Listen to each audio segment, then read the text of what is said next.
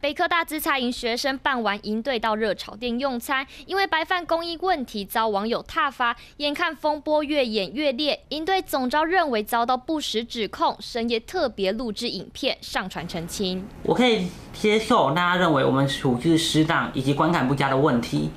但我不能够容忍事发经过不实的指控，以及对营队本身以及工作人员的诋毁。白饭之乱风波扩大，自裁营会长脸书发出十分钟影片列七点声明：不是所有人都吃这么多，当天确实消费了六千九，并没有谎报金额。实际到场用餐二十七人，饭也不是全都我们吃的，更不是不愿意的，是店家回复不会再补。另外，针对拍照时微笑，总招表示当天根本笑不出来，是有人喊才勉强笑。惠山声明也是希望早点落幕。至于网络上负面。评论大部分都已经删除，但也发现有网友假冒同学名义发文的状况。资财营会长一一说明，就希望可以澄清误会，强调他们绝对不是饭桶系，也已经汲取教训，希望可以就此平息风波。